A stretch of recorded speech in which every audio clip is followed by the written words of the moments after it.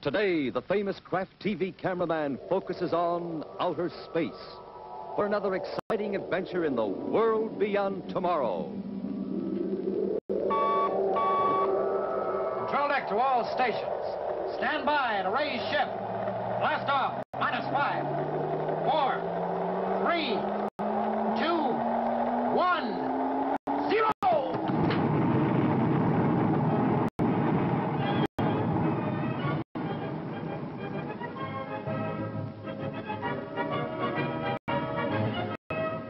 Tom Corbett's Space Cadet, starring Frankie Thomas.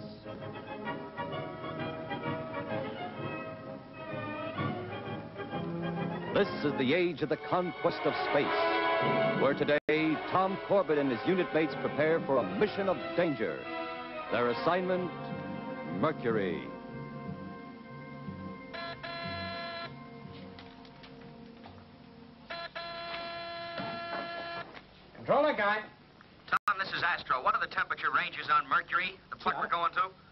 Uh, on the dark side, about 300 degrees below zero, and uh, above 700 on the sun side. Uh, I've got to have more specific information than that. Why? I want to set up the heating and cooling systems for maximum output before we blast off. Well, check with TJ. He has all that information in the astrogation manual. Right.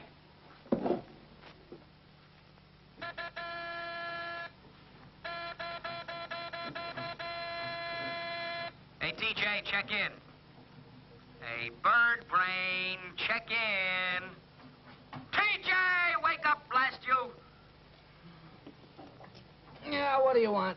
Look up the range of temperatures for the twilight zone of Mercury. Tom says you'll find it in the astrogation manual. Oh, okay, I'll call you back. I want it now. Okay, okay. What are you doing, bucking for a medal?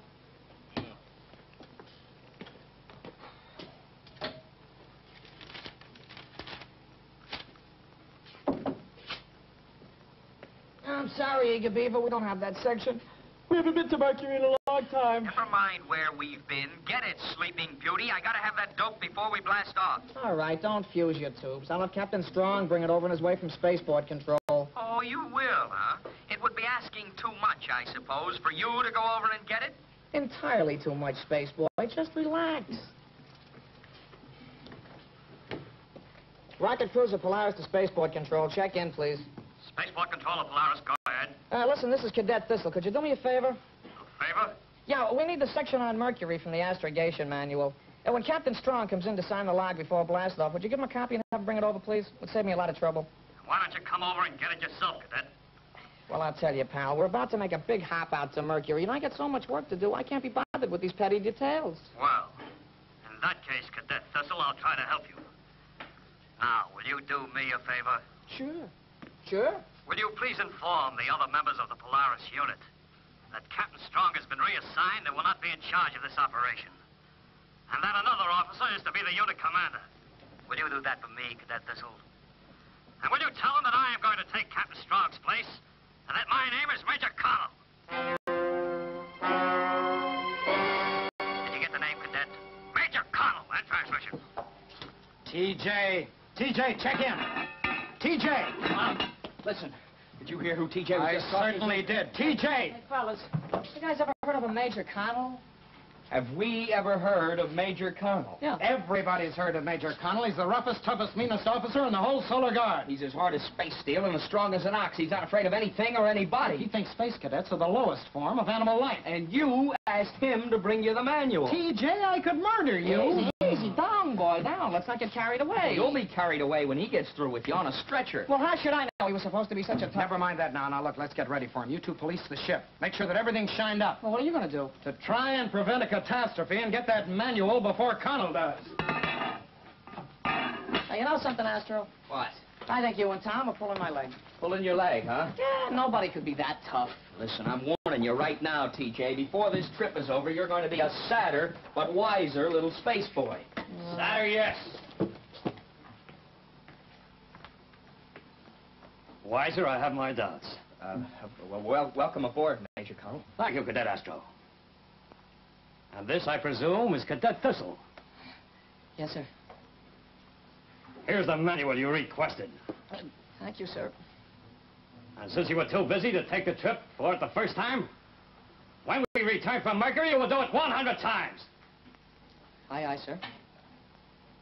Where's Cadet Corbett? Uh, he went out, sir, to uh, check the blast deflectors. He'll be back aboard in a minute. All right, now get this. We're bound for Mercury. And we're on a job where one slip can cost a man's life. But there won't be any slips, will there? No, sir. No, sir. All right. Now, we raise ship in exactly 17 minutes. Call me three minutes before blast off.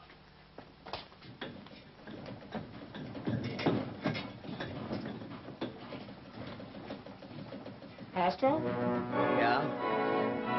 Tough.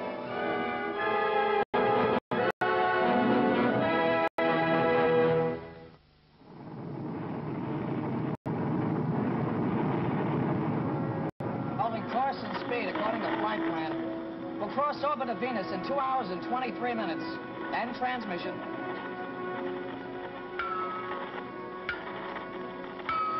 Uh, just immediate to starboard, Tom. About 400 miles away. No problems. Cadet Thistle! Yes, sir. Thistle, I admire you. You are truly talented. Uh, thank you, sir. You know, I don't know of another spaceman who could astrogate a rocket cruiser with his feet. Were your ancestors monkeys, perhaps? No, sir. I don't think so, sir. And there can be only one other explanation for your behavior. Yes, sir. You are the laziest spaceman that ever took to the deep. And I have just a remedy for that, Cadet Thistle.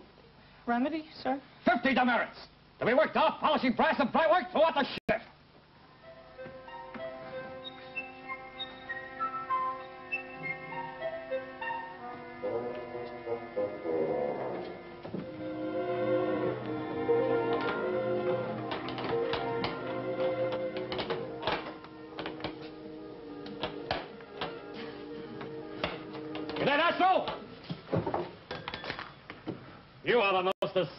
Example of a rocket jockey it's ever been my displeasure to work with. Yes, sir. Thank you, sir. Look at this power deck. It's filthy. Filthy, sir. Yes, and look at yourself. You look more like the bottom of a grease bucket instead of a space cadet. Well, you see, sir, the reactors needed... I'm not in for excuses. Now get yourself in this place cleaned up before the next watch, or you get another 25 demerits. Another 25, sir? Yes. You just got 25.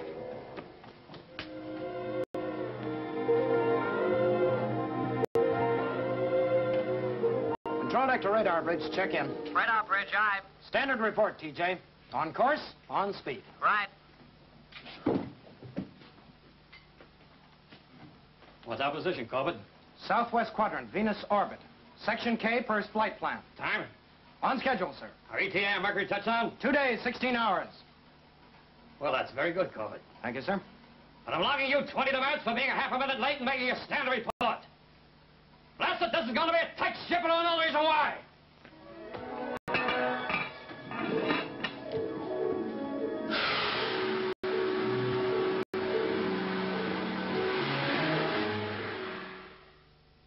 Attention.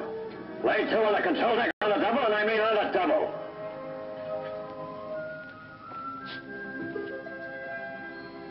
All right, cadets, stand easy. We arrive at our destination in exactly 12 hours. It will only take me three minutes to explain our mission. As you know, or should know, Mercury only rotates once, in one revolution around the sun. Therefore, it keeps one side towards the sun constantly. Now, the average temperature of the sun side is what, Cadet Astro? Uh, above 700 degrees Fahrenheit, sir. And the temperature of the dark side, away from the sun. Thistle? Uh, 300 degrees below zero, sir. Very well. Now, because of these extremes in temperatures, our destination must be the twilight zone of Mercury. The only area of fairly moderate temperature on the entire planet. However, Mercury in its 88-day orbit around the sun weaves and wobbles erratically. Sometimes the twilight band is extremely hot, sometimes extremely cold. Depending on the angle of the planet to the sun, our mission will be to find the area of least change, of most moderate temperature. You understand? Aye, Yes, sir. Sir, if you don't mind my interrupting, uh, may I ask the reason for this mission? I'd have logged you a hundred demerits if you hadn't, Corbett. Mercury is the closest place that man can make a prolonged and detailed study of the sun. Now, the purpose of our mission is to find the best possible locations for permanent installations for our scientists. Well, that's not simple enough. I uh, think, sir. You mean you hope? Now, it is vitally important that we land at the precise position I've indicated in my flight plan, when the twilight zone will be farther away from the sun. This will give us ample time to make our tests before the zone swings back. Is that clearly understood? Yes, sir. Yes, sir. All right. Now, you know what our mission is and how important it is. So pay close attention to detail and try to act like spacemen. For 12 hours we go to work. Sounds simple, eh?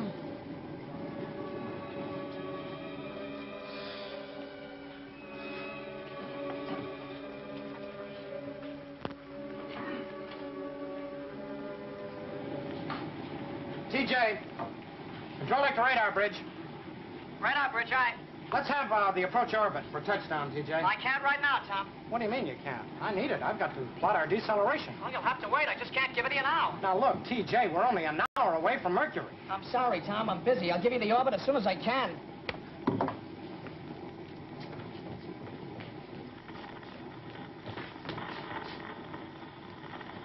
Cadet Thistle! Sir. The lane giving Corbett opposition? Well, sir, when I started to plot the approach, I found something strange here. Yes, I see something strange too, Cadet Thistle. Something strange in the Space Cadet. Not only do you, do you shirk your duty and risk the lives of others in doing it, but you try to cover up with silly excuses. Sir, I've got a very good reason. I'm sure you have. Right now, all I want to do is put the ship down on Mercury. And I can't do that without an approach over. Now, do you get that information to Corbett, or what's I do to myself? Sir, if you'd only give me a chance to explain, I'll be able to... Cadet Thistle, get off the bridge! You're relieved of duty until further notice. Yes, sir.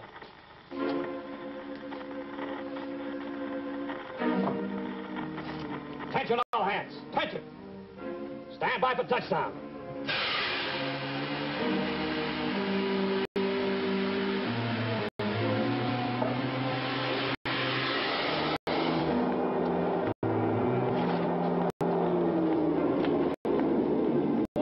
Cooked your goose that time. Whatever made you want to argue with him? Why didn't you just give him the orbit and let I go couldn't. I didn't have it. Why didn't you have it? Didn't you know what would happen if you goofed? I didn't goof. I was just checking to make sure the approach he planned was okay, and I found out Listen, he... TJ, you should know Major Connell well enough by now. You, you don't check anything that he's planned. You just go ahead and do it and keep your mouth shut. Okay. Okay, from now on, I'll keep my mouth shut around here. Oh, hi, Tom. What's our schedule now? Why, Major Connell and I are going outside to make those tests. You fellows stay aboard. Now, what are we supposed to do? Just wait for us to get back and keep those reactors hot in case we have to blast off in a hurry. How long do you plan to be out there? Only two hours. Connell doesn't want to take any chances on being caught out there when this area swings back toward the sun. Oh, he figures everything, doesn't he? That's right, TJ. And if you don't mind my saying so, you should too. You should have known he'd blast these tubes when you didn't have that approach orbit ready. Listen, Tom, I know my job. I want to make sure he was right. I- Okay, okay. Now, I haven't got any time to argue about it now. Connell's waiting for me, but uh, you better just hope he cools off by the time we get back. All right. So long, fellas. So long. Tom, wait a minute. Hmm? Listen, watch yourself out there. Don't take any chances. Well, that hotshot major is only human, you know. He can make mistakes, too. Oh? Okay, TJ.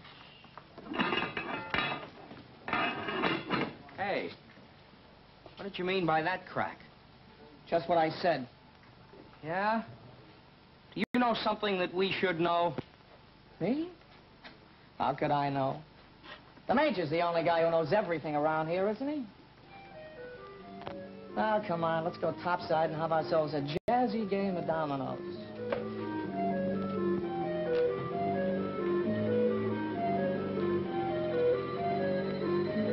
Sorry to have kept you waiting, Major Connell. I was giving Astro and TJ their orders. All right, Corbett. Now, here's our plan of operations.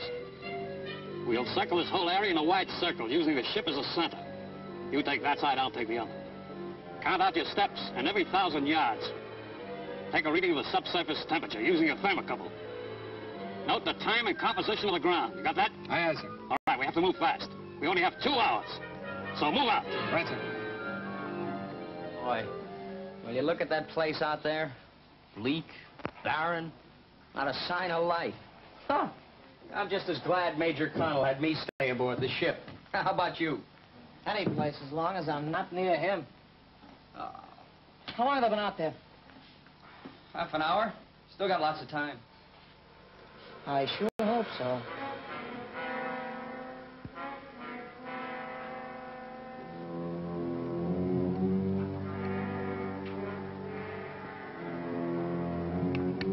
Connect Corbett to Major Connell. Check in quick.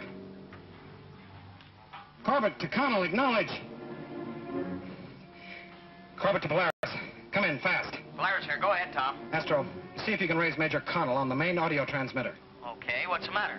Well, somehow we're in the wrong spot on this twilight zone. What? It's beginning to swing back towards the sun. And I can't contact Connell to warn him. Okay, I'll get on it right away. Listen, Tom, you come right back to the ship. Don't you go out looking for him. Stop the talking and get on that communicator and get TJ on the radar scope to see if he can pick him up, too. And hurry. I'm beginning to feel the heat already. End transmission. Polaris to Major Connell. Polaris to Major Connell. Come in, sir. Check in, please. This is Astro calling Major Connell from the Polaris. Come in, sir. Acknowledge. Any luck, TJ? Now, the only thing I can see are Mercurian stalagmites, and they all look like Major Connell. Yeah. How about you? Nothing but static. Polaris to Major Connell. Acknowledge. Come in, sir. Huh. Connell back yet? No, and I haven't been able to raise him on the audio receiver either. All right, something must be wrong with him. Then he must know that we're swinging back towards the sun. Unless he's too stubborn to admit he's made a mistake. What do you mean, mistake? We've landed in the wrong place. We've what? Well, I was afraid of this when I was planning our approach, but that's why I didn't give it to you. I wanted to make sure. Well, why didn't you say something? I tried to, but Major Connell wouldn't listen. You wouldn't even listen. Now Mercury's swinging back. We don't blast off in less than a half an hour, we'll never get off. Why not? Well, by that time, the temperature in the skin of the ship will be up around 500 and getting worse. Astro can tell you what that'll do to us. I'd have to use the full generator output to keep the ship's cooling system working. There wouldn't be enough juice left for a blast-off. All right.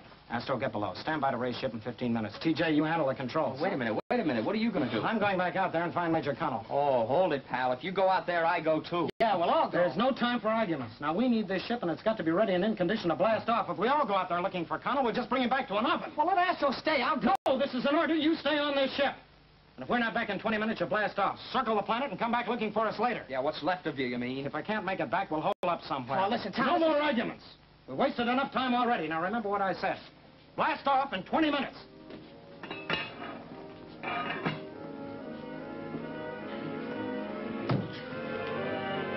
Never make it, Astro. Never.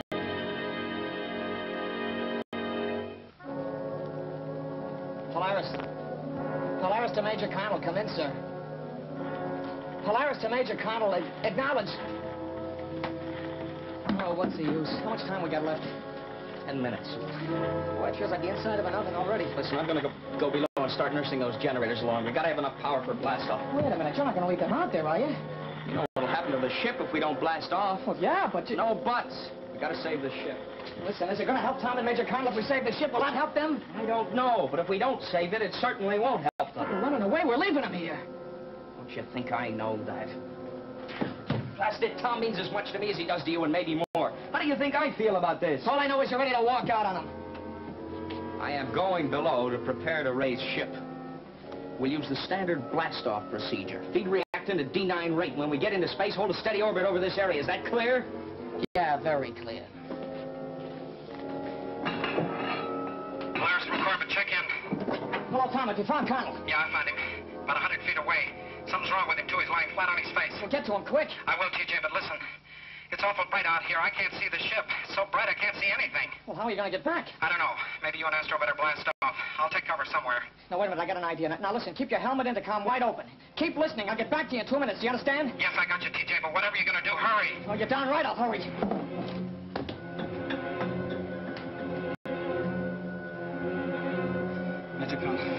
Major Connell, can you hear me? Corbett, what are you doing here? Never mind that, sir. Are you hurt? No, he got me. Too weak to move. All right. Oh, let's see if I can get you up, sir. Come on, sir. Cadet Corbett, in the morning you're back on the ship. I'll go back to the ship, sir, with you. Now, Corbett, if we do get back on the ship, I promise you more demerits.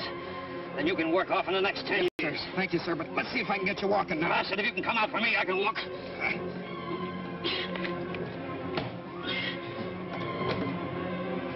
Hello, Tom. Check in. Can you hear me? Yeah, go ahead, TJ. Have you reached Connell yet? Yeah, I got him. But listen, can you help us back to the ship? I still can't see a thing. Yeah, well, maybe I can see you now. Start moving. Oh, in which direction? Any direction. Just move. Okay, here goes. That's it, Tom. I got you on my scanner. Now turn right and keep walking. That's it, Tom. You're right on a beam now. Keep moving that way and you'll be home free. How much time left, TJ? Don't you worry about the time. Just keep one, one foot in front of the other. That's all you have to think about. That's it, Major. One foot in front of the other. Follow TJ's advice. I can't go on. What's are you going to? Tom, what's the matter? Why'd you stop? Oh, it's the Major. He's awfully weak. Oh, he is, huh? I thought he was such a rock'em sock'em tough guy. Why, that miserable little space grub. Come on, Corbett. Aye, aye, sir. That's it, Tom. Keep coming. Uh, oh, over to your left. To your left more. That's it. Keep moving that way. You'll be here soon. TJ, what are you doing here? We blast off in four minutes, and I told you... Pull your to reactors, Astro. Wheel blasting with a full through. What?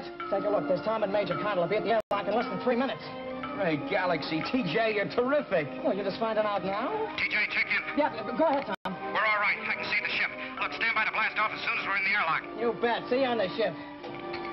Well, what are you waiting for, you big Venusian lunkhead? Go below and get up ahead of steam. Aye, aye, sir.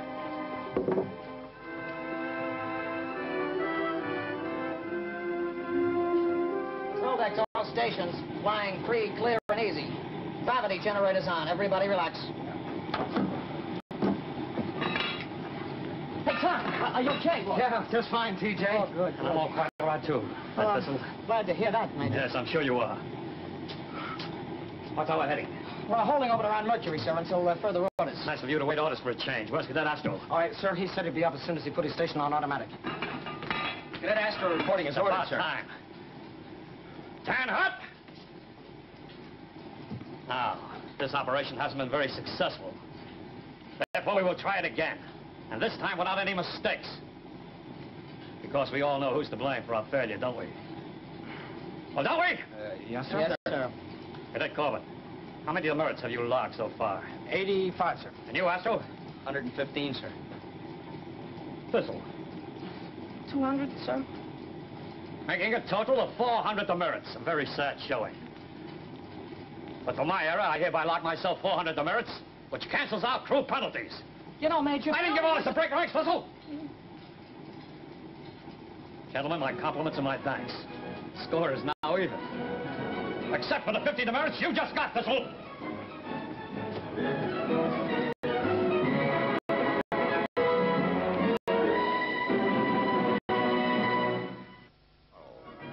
Forget to be with us for next week's exciting adventure of Tom Corbett, Space Cadet. Starring Frankie Thomas and featuring Al Markim and Jack Grimes.